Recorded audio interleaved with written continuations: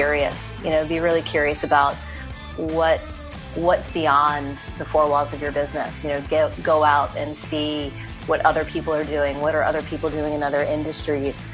Just be really curious about what else is happening out there. And it's it's interesting because I think if you're the type of person that naturally does that, you find it odd that other people don't. It's kind of like, why wouldn't you go see what that what's happening over there so that we could bring some of that back? But I, I think it's just not human nature for a lot of people. They're just not. But I think from a business perspective, even now more so than ever, is that to be successful, you have to be curious and keep evolving and changing and looking forward about where things are going.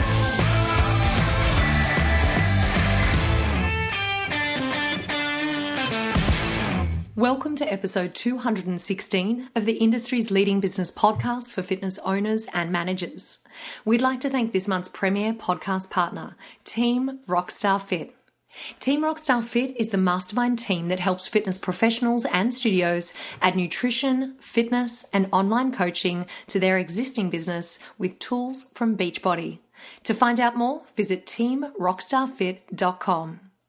Before I introduce you to this week's special guest, I have a quick question for you all.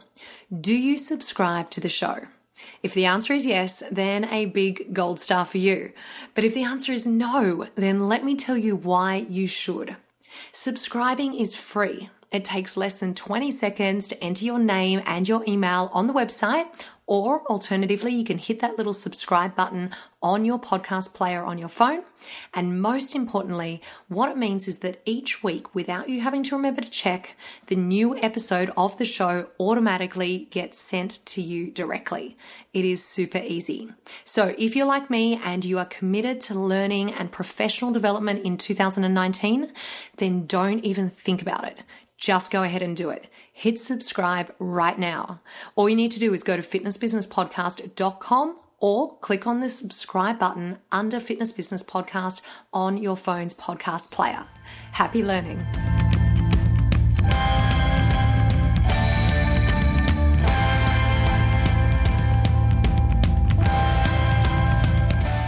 I'm really excited to announce that from today we have a new series starting. The series is called In the Shoes, and in one episode each month, I'm going to be chatting to someone in a specific role within a club. They might be the fitness manager, the franchise manager, they could be in sales or group fitness, and we're going to hear about their role, their biggest challenges, their key performance indicators, and they will share advice for others that are in a similar role. We kick off the In the Shoes series with today's special guest. She's the Chief Strategy Officer for Brick Bodies in the US, Erin Kelly. With more than 30 years in the fitness industry, Erin's career began as a fitness trainer and quickly progressed to a group exercise instructor, personal trainer, group exercise director, general manager, VP, COO, and CEO with companies including Brick Bodies, Star Trac, Schwinn, and Les Mills. Erin's extensive experience in the industry has seen her excel in areas such as B2B sales, developing and managing high performance teams, and executive leadership. As you're going to hear today, in her current role as Chief Strategy Officer for Brick Bodies, Erin oversees the strategic planning for the organisation, including all programming, marketing tactics, and most importantly, employee engagement initiatives. So, as I mentioned earlier, during the In the Shoes series of interviews, we first look at what a typical week looks like in the role. We chat about three common challenges and solutions to address them. We go through the roles KPIs and we talk about how our guest judges success both objectively and subjectively. And I also ask the question that if you could wind back the clock, what is it that you wish you knew when you first started the role? And I love Erin's answer to that question, and I think many of you will be able to relate to what she has to say. So, all of that is coming up really soon. But first, a big thank you to our podcast partner. Team Rockstar Fit is a mastermind team that helps fitness professionals and studios add nutrition, fitness, and online coaching to their existing business with tools from Beachbody. To find out more, visit teamrockstarfit.com.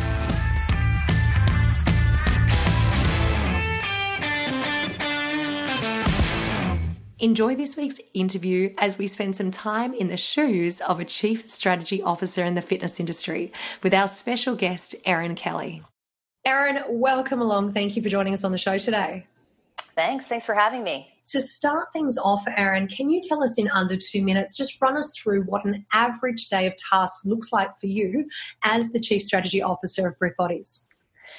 Yeah, so it's uh, you know, we're not a huge company, so we have four locations currently, and so under my umbrella of, of chief strategy officer is programming. So everything that that involves programming, from group X to PT to corporate wellness, all of that's one big bucket. I'm also involved very much in the marketing side of the business. So how we're, what we're doing on the programming side, how that's being represented on the on the marketing side of the business and really trying to transition and change the look and feel of the brand a bit. So we're doing a lot of brand work and innovation in that space. And then thirdly is around the people and culture part of the business. So particularly around our employee engagement side and how we're undertaking a pretty big initiative in that space too. So kind of the day in the life is a lot of different pieces and which i love because i love being involved in a lot of different things keeps it really really interesting. So really my day spent meeting with all of my key leaders you know in each of those areas and for us kind of working side by side of how we're moving those initiatives forward.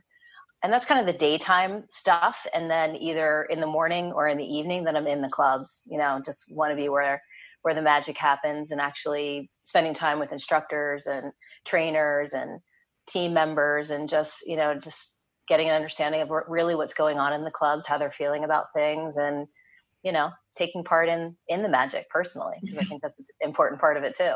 So you got to be in there doing it yeah, and that's really interesting because I think that sometimes when we move into, you know, senior level management positions within a business, we can get so caught up in spending time in the office or behind the desk that we can lose touch of what's actually going on at, you know, the customer facing stuff. So I find that really interesting that you're spending time and, and fantastic that you're spending time uh, in the trenches with everyone and on the ground. How many days per week would you say that you get into the gym? Is it every day that you're doing that? Or, or how many times per week?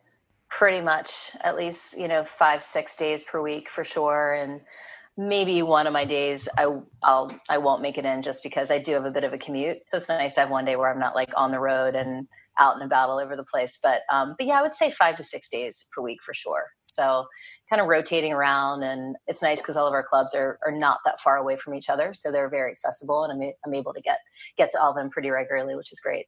That's great. So, can you talk us through three challenges that might arise, you know, as part of your role, and then talk us through how you would address each of those challenges? Yeah, sure.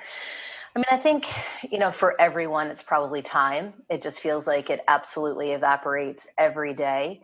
And um, as much as, as my task list kind of looks like this of all the things I want to accomplish in a day, I always feel like I'm like, okay, maybe I got two of those checked off, you know? So it's trying to to manage time but also within that constantly reprioritizing you know what are the things that are actually going to move the business further the fastest?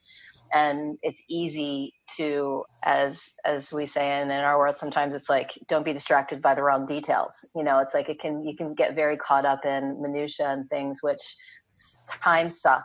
So it's a discipline around that around what are the things that are going to be really productive and what are the things that are not and I think that's something that we have to continually coach our teams on as well because they have a ton of different things coming at them, especially at the club level, that can distract them, you know, from really managing and managing the important things again that are going to move the business forward. So that's that's a big one. I think pace is a challenge, and maybe that's more a challenge for me personally because I like to go fast. You know, I like to move things forward quickly. And so, you know, when in certain situations, either one, you know, if if my pace isn't matching the pace of others, I have to adapt and and recognize that that's the case and readjust if if necessary, so that we we still get there in an appropriate amount of time, but at the same time, it's just pace for me. Sometimes I just want to go faster and move things faster and change things faster. I think the third thing is probably in general just a resistance to change. You know, and it's funny in our quick fire we mentioned that around yeah. people are really resistant to change and i love it. And then and again i have to recognize that most people don't feel that way and so it's hard for them. So it's again it's that balance of bringing people along with you and getting them to believe you know kind of what you believe and kind of see the vision you know see the vision of what's possible and be able to i think just wrap their heads around that and get comfortable there to to move things forward. So that can definitely be a challenge and especially when you're more in, in a strategic role you have to you're bringing new ideas and innovations forward that sometimes it's like people just want to put the brakes on and say whoa like too much too soon kind of thing. So you know it's kind of having that restraint around that i think. But, Erin, I want to circle back around to your first one, which was time, because I think that there's a lot of people that will be able to relate to this. And, yeah. and, and, so often we feel like we've got this never ending to do list. And on the show before, we've had a couple of, you know, time ninja tips that we've shared with the listeners before. But in your experience, is there any advice or tips that you can share with us that you either use for yourself or with your team to prioritize because you're saying how important it is that we kind of make sure that we're not just working on everything all the time that we're choosing yeah. the projects or the actions i guess that move us forward in our business. So is there any kind of tips or tricks or advice you can give anyone that's struggling with that time issue? Yeah i think um, a couple things. One i think in the broader scope of businesses we get kind of sucked in kind of in that meeting nightmare i'll call it you know where it's just meeting after meeting after meeting. And not only excessive meetings but really forcing and and have again it's more of a not forcing but more of a discipline around is this meeting actually necessary? Does everyone in the room absolutely have to be in this? You know is there can we uh, what can we eliminate? I mean we were having like three marketing meetings a week that were an hour and a half each. And it's like, whoa, like there's got to be a more efficient way for us to do this, right? So I think it's just continually looking at what you're doing on a weekly basis and are is that time spent really productive? And then also being, we've just kind of revised our whole meeting um, strategy because we did a big employee engagement survey across our team and you know a lot of it came back was that we have way too many meetings and they don't feel like they're productive. And so you know having really clear start stop times and sticking to that because that happens a lot too in business. It's just you know you're get you're in a conversation and it just keeps going and oh well we still have three more things to cover and we're over time. Well then it's just got to stop. Sorry. That's going to move forward to the next day. So i think it's just the rigor around protecting time you know too that as as a senior executive you have to block out time to actually have think time and productive time versus you know i get a lot of my time is spent with other people and spent you know in meetings and managing and you know but you need that alone time as well to really you know just get get your get your own work done and and really have time to think and open your mind to to other possibilities and you know so i think that's important too you need that balance your own time versus the the actual work time so Oh, I couldn't agree more, and I love the term that you just used of protecting time. And uh, and anyone that's come out and, and seen me present before, there's a, a, particular ritual that I always talk about, which is called Tiger Time. And Tiger yeah, Time is that. Have you heard of Tiger Time? No. So it's a ritual uh, where basically it allows you to block out periods of time to achieve certain tasks. Um, but the way that I like to describe it is it's a time that you're fiercely protective of. And when you mm-hmm. said that, it just it kind of you know reminded me of that. And if anyone uh, wants to do a fantastic exercise in relation to this, and, and when you're talking about meetings and making sure that not you know the entire world is invited to your meeting, um, Lisa Bodell, who was the keynote speaker at IHRSA in 2019, um, she has this fantastic ritual called "Kill Stupid Rules." Oh yeah, we yeah. Have too. you heard about? Yeah, yeah brilliant book. I'll put I'll put the link to yeah. our interview and to the book in the show notes. But uh, she basically walks you through a team exercise where you can um, go through and talk about what are all those things that are um, taking up too much time that don't make sense. That you know that you can streamline and refine your business practices. So for anyone that uh, that hasn't done that, and if time's an issue for you, then I will put the link in the show notes for yeah, that that's great. Book yeah we actually we added that question to our um, employee engagement survey that we just did yeah. so if you could kill one stupid rule what would oh, you yeah so it was really it was interesting the the feedback that that came back So it oh, was good. And it was, it was like really random things, you know, from, cause, you know, we're surveying from our part-time service desk person all the way up to senior executive. So it was, it was interesting the feedback that came back. This this wasn't part of the questions, Erin, but I'm fascinated to know. So that was one of the questions in your employee survey. Were there any others that you would recommend that people that you got a lot out of in the survey that others might be able to learn from? Any kind of standouts? Yeah, yeah let me think. Um, we asked a lot of questions around, um, uh, like if you could perform if you could perform your position with zero defects, what would what would it be? So it's kind of like what are the what are the roadblocks in your way that are preventing you from from being your best self at work? So it was that's always interesting too because be very I think, interesting. Yeah, just to see what their perception is of what are the things that are just either complete time sucks or they think are inefficiencies that maybe we've just continued to do them because we've always done them what can we remove you know to to make them more productive um, and also more enjoyable you know at work. So you know that's that's really from my perspective it's critical to the success of the business is that we have a really engaged team that really loves being there. And you would think you know in fitness like of course everyone loves their job. We work in the fitness industry how could you right? not? how could you not love going to work every day? You work in a health club.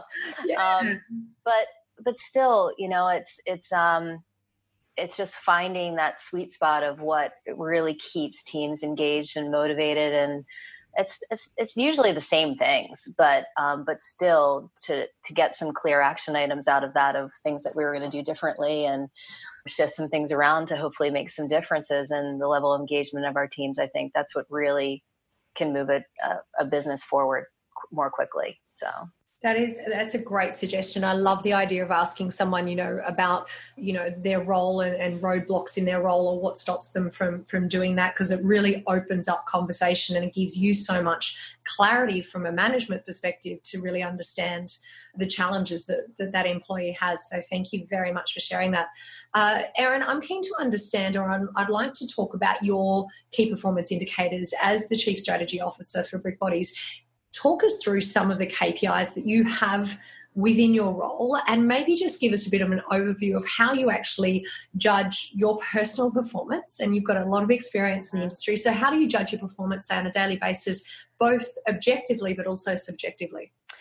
Yeah i guess one of the i mean one of the big you know the biggest pieces around my role is around the the programming piece because when i came back to brick bodies again the the part that was i think most exciting for me. We know that programming is our differentiator um, within our within our group. And um, we're mid-market health clubs. We're not a boutique. We're not a budget club. We're right smack in the middle. So we have to have that's really the only thing that's going to truly differentiate us from competition.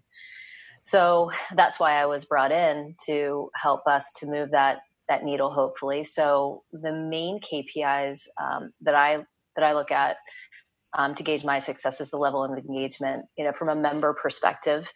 So, and that's how we measure it from a performance standpoint. So, what percentage of our members are actively engaged in group exercise? You know, we're setting our benchmarks fairly high, at least compared to what I've seen in the industry, my time at Les Mills for quite a period of time. So, right now, as an organization, we're like at, for example, 37% group exercise engagement across our clubs, which you know, is is good. It's not like blowing it out of the park, but you know, our goals by 2020 is to be at 50%. You know, so and really putting the initiatives around that to get better engagement. Um, and so that's in, and that we're looking at that metric across all of our assisted exercise areas. So how are we doing with that in team training as well as personal training and rallying our team around that engagement number because then everything kind of trends to that. So how they're how are we doing new member orientations? How are we engaging them in assisted exercise? Because we know that that's going to keep them longer as a member. They're going to refer more members. They're going to stay longer you know all those things. So of course we have all the sales metrics which is the ones that i but for me. It's all about the programming pieces and how we're getting people engaged in that within the clubs. So that's a huge slew of metrics that from a kpi perspective that i'm looking at every single month When you first got assigned that KPI, when you knew that that was such a major player in your job role, I would imagine, like you were, we were just talking about you doing a staff survey, I'd imagine that there was probably a member survey conducted early on in the piece. Would that be accurate? Yeah, they have done. Well, we have ongoing surveys with members because right. that's we use um, Medallia, the right. MXM mm-hmm. surveys, and you know, so we get a ton of feedback around programming, and that that continues to come through as either something that people have great things to say, or if they have a bad experience, they're that's going to be you know talked about as well. So, and not in a great way. So so we get a ton of feedback through medallia we're looking at that i you know i'm i'm looking at that like obsessed you know to see what sort of commentary is coming through and how people are eh, just because eh, if they're taking the time to give that level of detail about their experiences in the clubs that um, that one we recognize that and speak to that member about it but then how can we take that and kind of you know apply it to just bettering the experience overall so what are a couple of really, I don't know, key insights that you've learned about your members that have helped with the direction of where you're taking the business? Yeah, I mean, I think we know that our members are still looking for um, new experiences, mm-hmm. and you know, we we have to continue to look just innovatively of what's going on in the industry. What can we bring inside the clubs that kind of staying ahead of the trends because that's another thing with me coming into the role was that it had gotten a bit stagnant, you know, as far as not a lot had changed. Some of the classes on the schedule, I think, were there when I taught there like a long time ago. so I was like, oh, so you know we needed a refresh and so and the members were telling us that they were like and they it's not that they wanted to necessarily go to a boutique or go somewhere else they wanted to stay with brick bodies but they're like we need some new refreshed programming so you know i think that's important and you know we will we will never be a boutique but we can start to create those sort of environments within our facilities that create just a better member experience from the way we greet them at the door the way we say goodbye to them when they're leaving class how we engage with them through that interaction in the class experience. Um, but the biggest thing for for me was that we just weren't doing enough instructor development with our team. You know, we have 150 to 160 instructors. So with that size of a team that's not really getting the level of feedback that they need, that's not translating into great experiences inside the studios. So we're implementing a, a whole instructor development program and I, I actually I can't take credit for the idea because Carrie Keppel gave it to me. Uh, you know, Carrie Keppel. Well, Carrie's um, been the show Carrie. before. We know Carrie. Yeah. Yeah. yeah. So um, so we were talking and so they implemented kind of a whole kind of camera system within the Les Mills, one of the Les Mills locations down in Auckland that she worked in. And I was like, ah, oh. so then you know, just having that ongoing assessment tool and building that around the growth of our instructor team so that we can, can continue to deliver better experiences. But that in combination with bringing in refreshed programming and ideas, not so it's you know kind of all over the map because you want it to have growth potential but at the same time bringing in new things in the right cadence that keeps people interested and engaged i think is is really really important so that's that's part of the strategy as well you uh, you have a lot of experience in the industry and i know you've got a lot of contacts in the industry. So when it comes to making sure that you're up to date with the trends and what's happening and your own professional development who do you turn to or, or where do you go? You know i know you and i met at, at a conference yeah. in, in 2018 so i know conferences are part of that. So yeah where do you go for your own professional development and to learn about what's going on in the industry?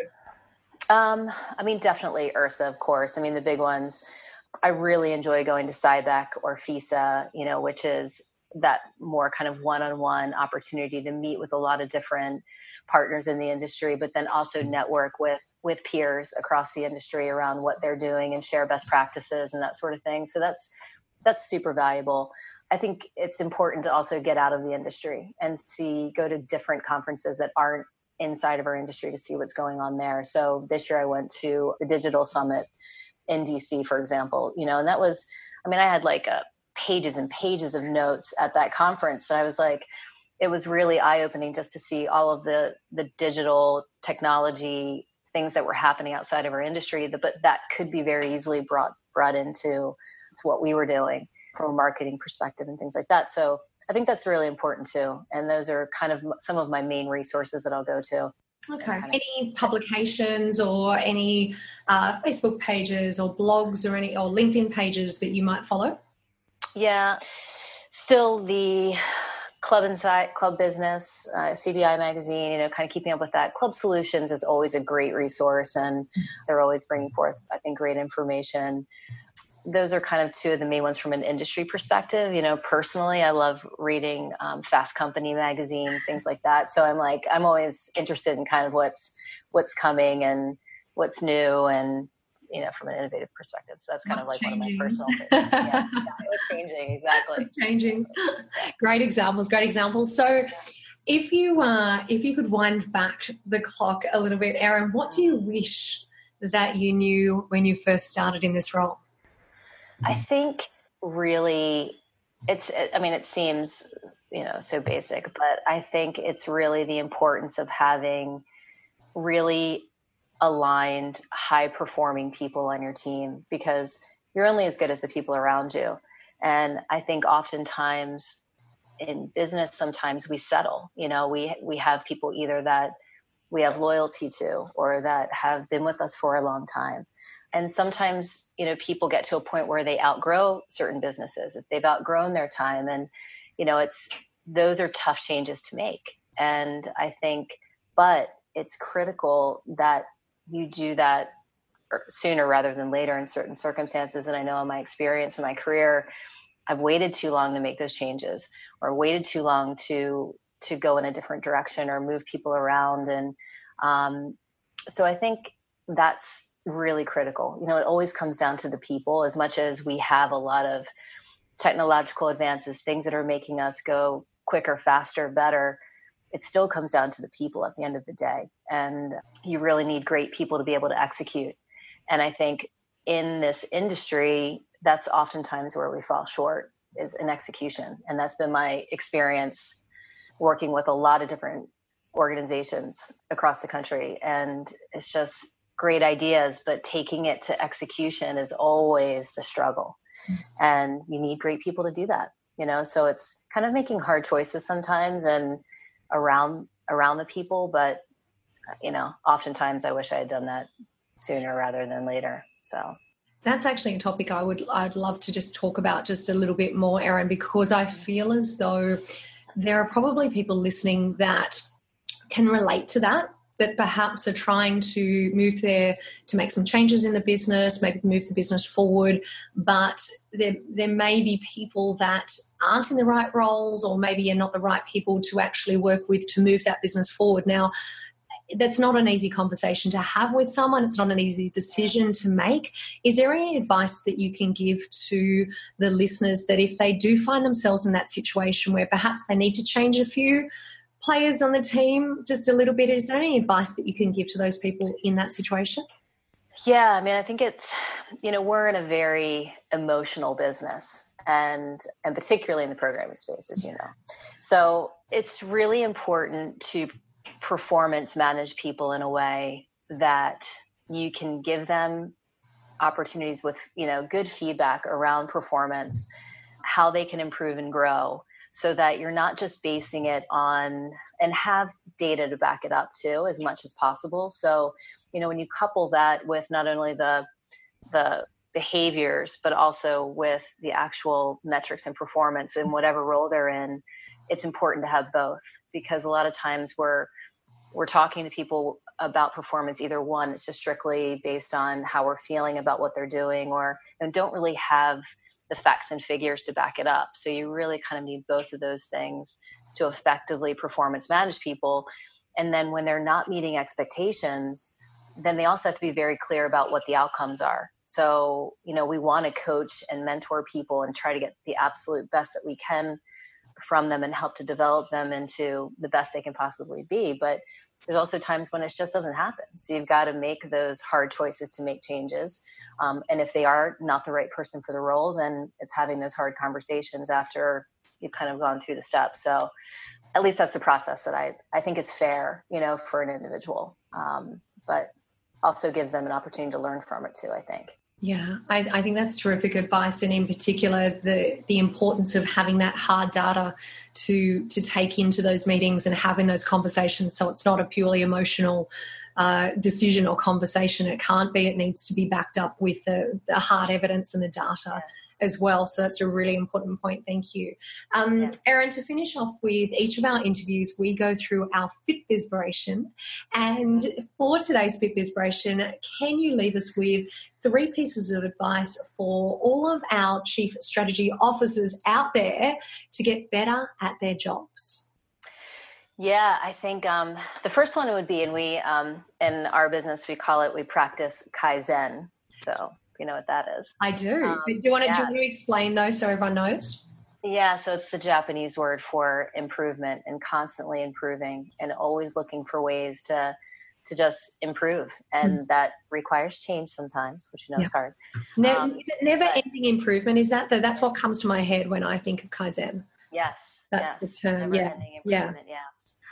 Um, so I think that's that's critical, you know, because if you are in a strategic position it's always looking at what can we be doing better? You know where can we find more efficiencies? How can we get more out of out of our people? So i think you know that's that's really important. I would say second is be curious. You know be really curious about what what's beyond the four walls of your business. You know get go out and see what other people are doing what are other people doing in other industries just be really curious about what else is happening out there. And it's it's interesting because i think if you're the type of person that naturally does that you find it odd that other people don't. Mm-hmm. It's kind of like well, why wouldn't you go see what that what's happening over there so that we could bring some of that back?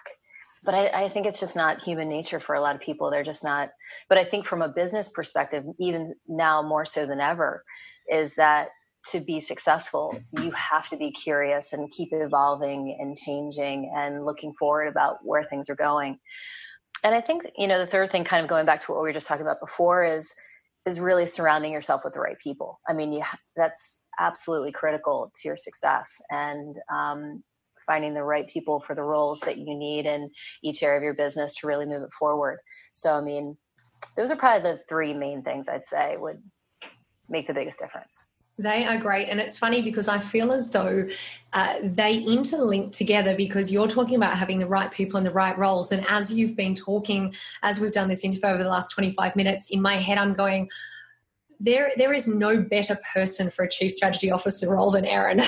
like you are, like they're well and truly like you you clearly live and breathe this role and and qualities like being curious and um and kaizen which we talked about that that that um never an improvement, constant improvement. It's like these are, things that you quite obviously live, that you very strongly believe in. And to me, that makes you the perfect person to be in a strategy role. And, and I think so often, as you were mentioning about, you know, people people sometimes don't want to be curious they don't want to change and they because so many of us are comfortable in existing environments. You know, change can be a scary thing for so many people. So uh, I love that, you know, someone like you can have a role that you just so, so clearly are perfect for. And, and, and we really appreciate you taking the time to share that experience with us today and, and to thank you through everything that you do in, in your role. It's been absolutely fascinating. And I loved hearing about how there are so many elements that make up the role of a chief strategy officer. And it's not just kind of one, one focus point. You know, you've got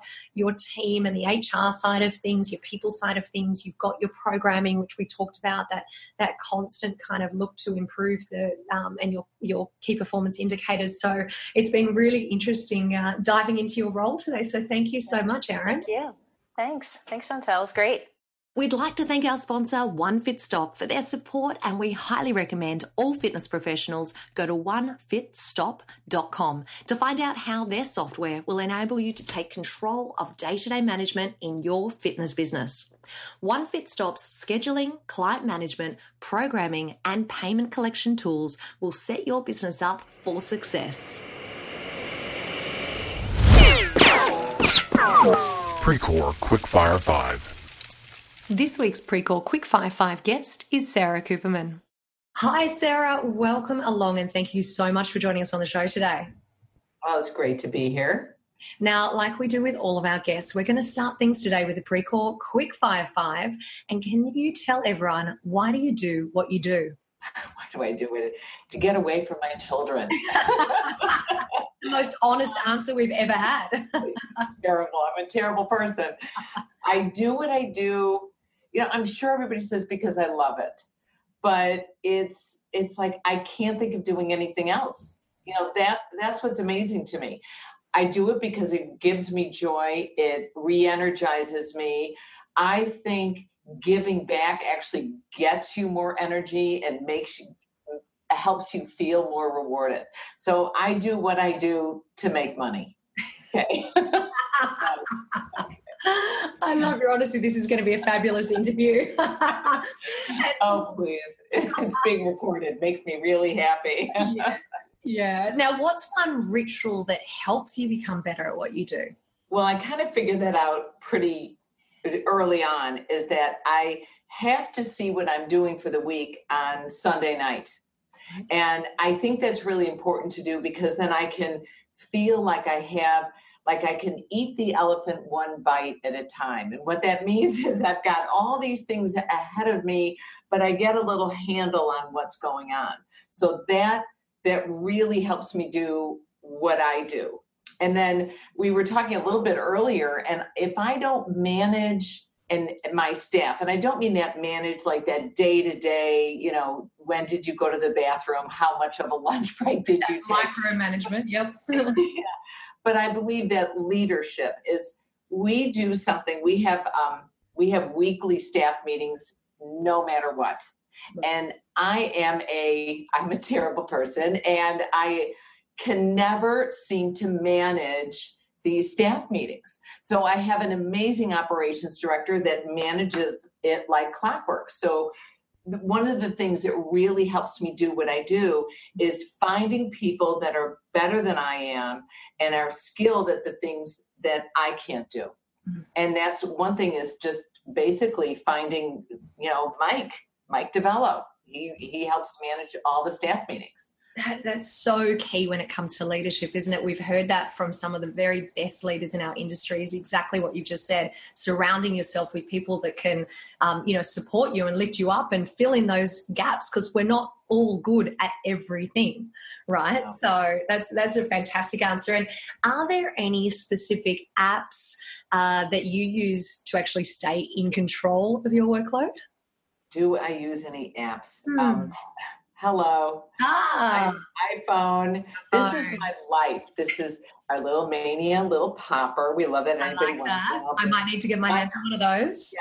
My credit cards, my driver's license, and it's my phone. And I keep my schedule on my phone.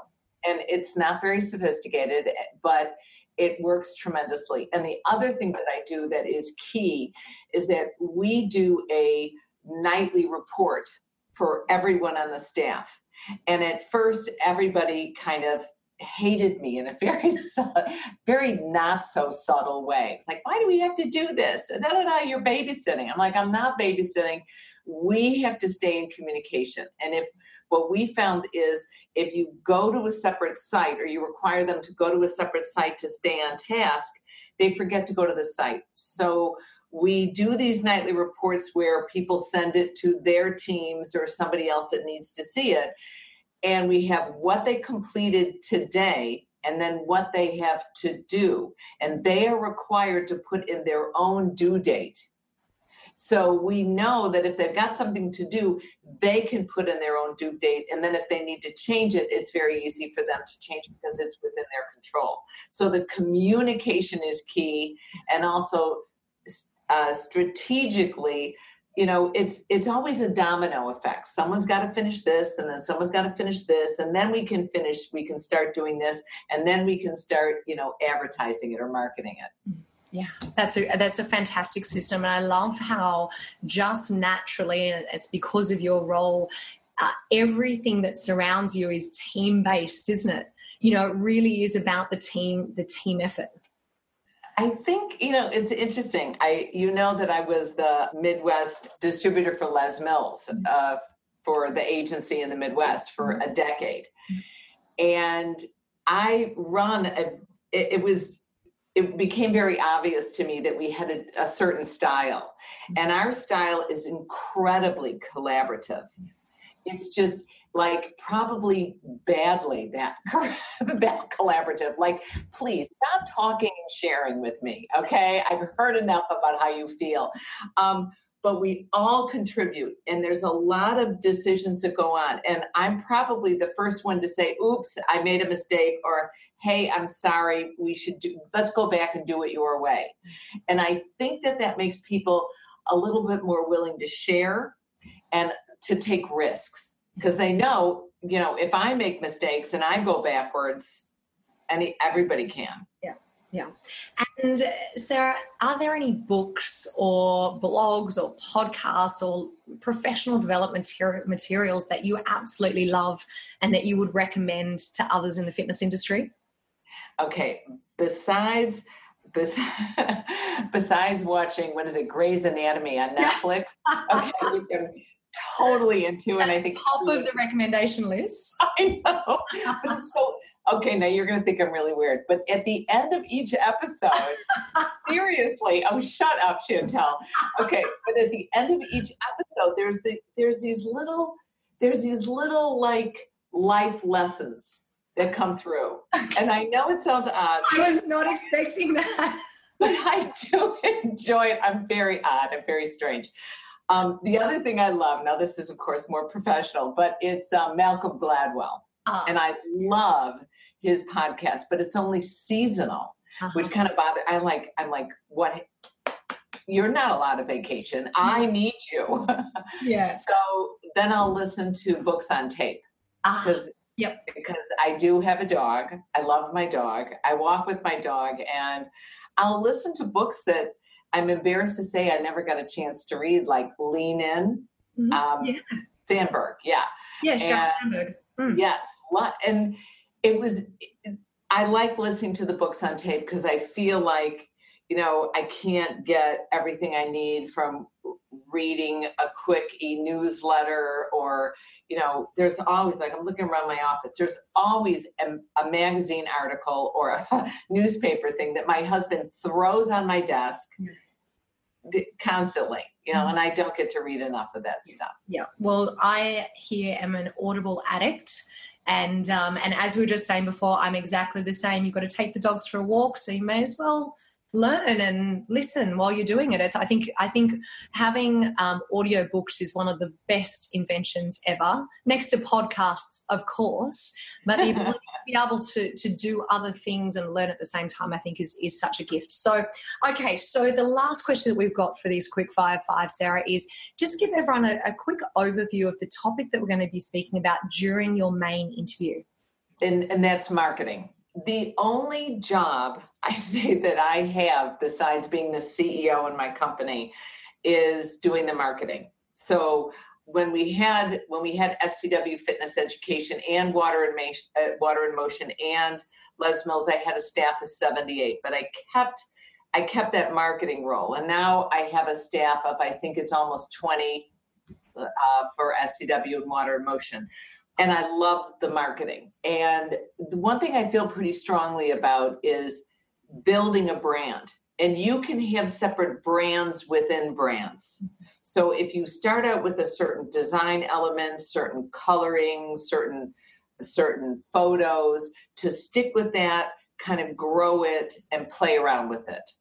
Excellent. Well, I'm really excited to talk to you about this because FBP family, I think what I love about this particular topic and, and diving into Sara's knowledge is that this is first hand knowledge. So, Sara has applied these things to her own business, it's years of experience, and we're going to be looking at some, some unique ways that we can use marketing to, to grow our fitness business. So, I'm really excited to talk about that topic, Sara. So, thank you for joining us today for the Precor Quick Quickfire 5, and we will see you for the main interview next week.